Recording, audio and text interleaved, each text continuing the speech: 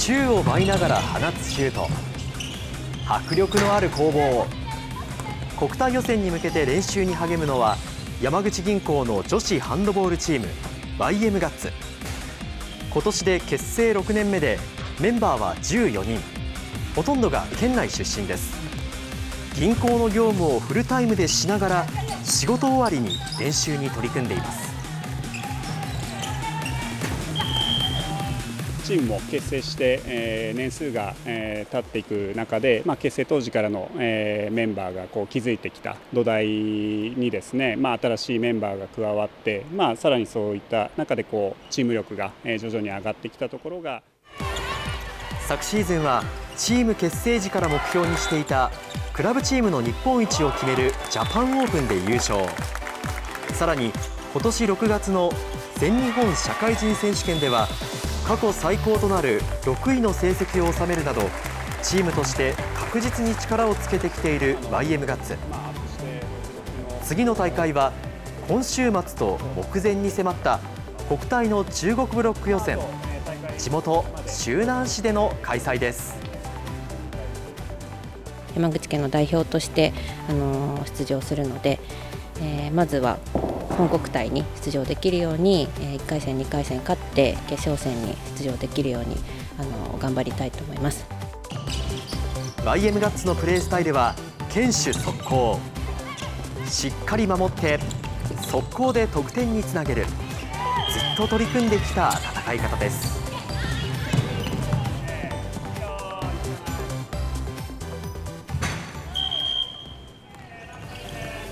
守備の要。ゴールキーパーは石川千尋選手。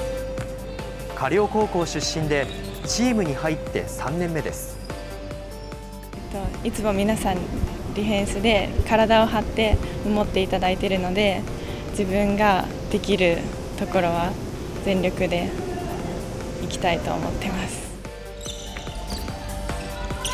石川選手本当によくシュートを止めるんですこちらの映像は6月にあった社会人選手権の初戦。相手はトップリーグに所属する強敵です。ロングシュートやノーマークシュートそしてフリースローも止めチームのピンチを何度も救います。石川はもともとそういった能力はあの高い選手で、まあ、さらにこうディフェンスとあの協力することによって、まあ、セーブ率っていうのはどんどんあの彼女の中で上がってきてるんじゃないかな。この試合17本のシュートをセーブ。セーブ率はおよそ5割と驚異の数字です。堂々と立ち振る舞うように意識してます。入れないぞみたいな雰囲気出してたら相手が枠から外してくれたりするので。コートの中では堂々と振る舞う守護神石川選手。ですが練習が休憩に入りカメラを向けると。今緊張してま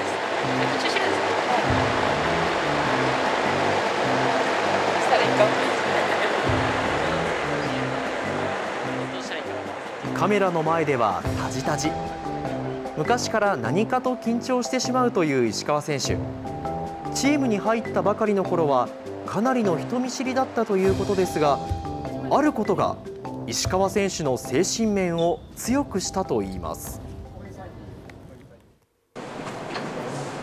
すみませ。ん。今日はどういった手続きで？今日はちょっとお金を下ろしに来ました。かしこまりました。こちらのタッチパネルで。それは銀行での窓口業務です。お客さんと接する中であの堂々としないとお客さんに不安感を与えてしまうっていうのがあって人見知りな自分もいるけど堂々とっていうのを意識しててそれをハンドでもコートの中だったらもう別人になったぐらいに 意識してもうドンと構えるようにしてます。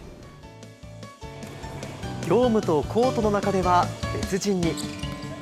銀行員をしながらハンドボールに取り組む YM ガッツにいたからこそ成長できた石川選手の強さです。今週末に始まる国体予選。2年ぶりの地元での公式戦です。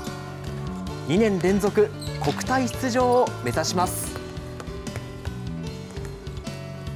職場の方とか、えっと、近近くの方々が見に来てくださるっていうことなのですごい緊張するんですけど感謝を忘れないように全力で戦っていきたいと思ってます。個人的にはどのくらい止めますか？